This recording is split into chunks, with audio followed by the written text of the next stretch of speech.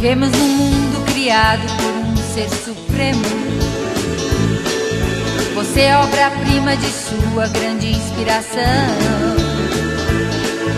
Criou tudo belo, perfeito, com inteligência.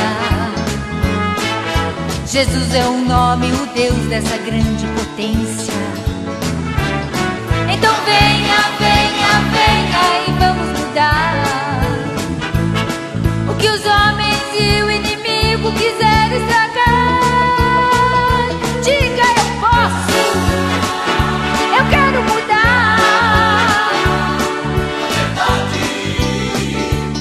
Te libertar.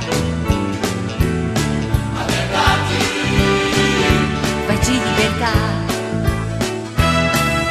Deus fez macho e fêmea, assim permanece a existência. Pois não há opção de mudar essa forte essência. Deus te ama e te aceita do jeito que você é.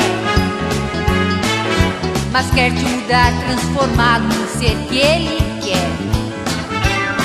Então venha, venha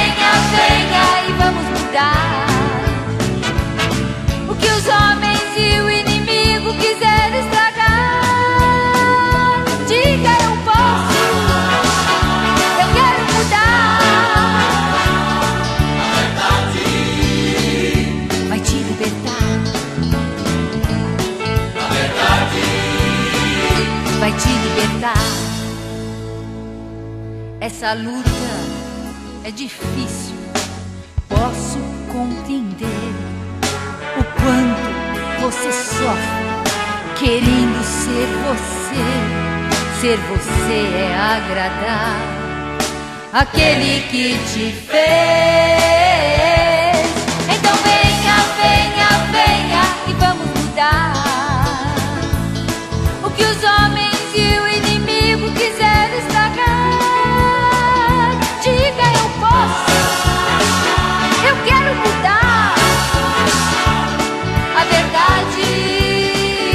Vai te libertar. A verdade vai te libertar. Vai te libertar.